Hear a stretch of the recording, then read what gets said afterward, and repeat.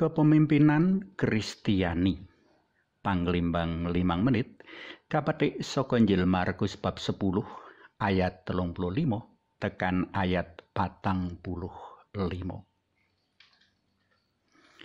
Dadi panggede iku ngetono wengi jroning laku aja sereng kereng ulatan pranahani. Duga prayoga ginugu. Rinengga grapya sumana. Amrih tentrem rahayu. Cupeten serik jroning atimu kanthi tulus ati leladi sesami ngapura sapa kang luput? Jejeke sapa kang doyong?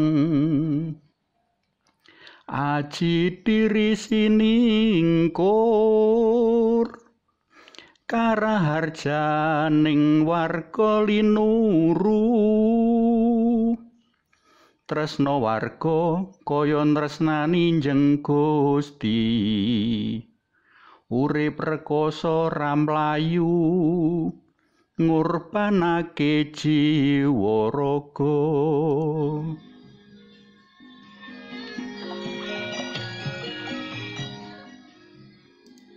Ing waosan dina iki marang para murid Gusti Yesus mratelakake bleger jati diri sawijining pemimpin pangarep utawa panggedhe paguyuban penderek dalem.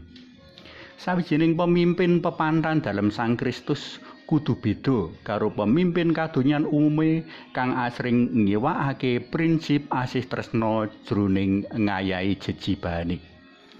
Sing sapa kepingin dadi gedhe ing antaramu, iku dadiya peladenmu sarta sing sapa kepingin dadi pangarep ing antaramu iku dadiya bature wong akeh dene kang dadi landesan pratelan dalem iki ora ana liya ya pribadi panjenengane piyambak.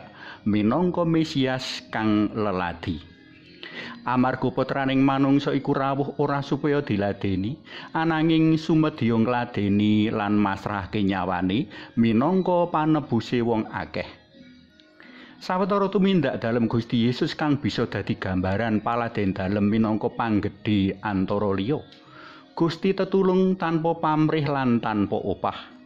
Gusti tetulung kanthi sapenuhing ati.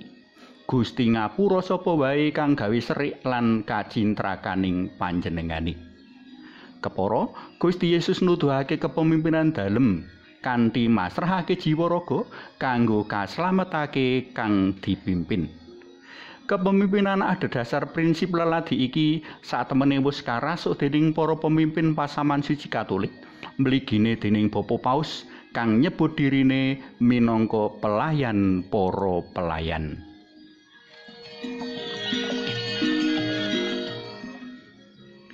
Para sutresna PLM kinasih, prinsip kepemimpinan Kristiani utawa prinsip kepemimpinan Katolik ora mung lumaku jroning pasaman suci wae ananging uga kudu lumaku jroning paguyuban-paguyuban kang dipimpin lan diesui dening para pendherek dalam Gusti Yesus. Rikala para pemimpin bisa nuduhake jati diri kepemimpinan Katolik ing kono dheweke dadi seksi iman kapitayan kang dirasuk. Rikala sawijining pemimpin Katolik bisa nindakake kepemimpinan Katolik ing paguyuban lan lembaga kang dipimpin, ing kono sak temene karaharjaning urip bebarengan kupiya diperjuangake.